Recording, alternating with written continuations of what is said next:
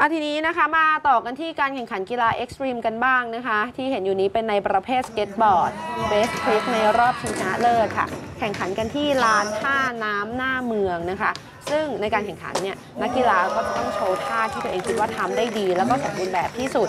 ผลปรากฏว่านะคะเป็นคาร์เลตบาฮิมที่มาในชุดสีดำม่วงนะคะ คนนี้ดีกรีทีมชาติไทยด้วยนะคนนี้เลยคนนี้เลยนะจากจังหวัดเชียงใหม่ค่ะ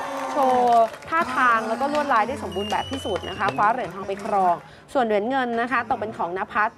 วิจิตจรุงนะคะ ในเสื้อสีเขียวจากจังหวัดอุตรดิตถ์ค่ะ ส่วนเหรียญทองแดงเป็นของวรุณดีสมบัติในเสื้อสีฟ้าส้มจากจังหวัดชุมพรค่ะ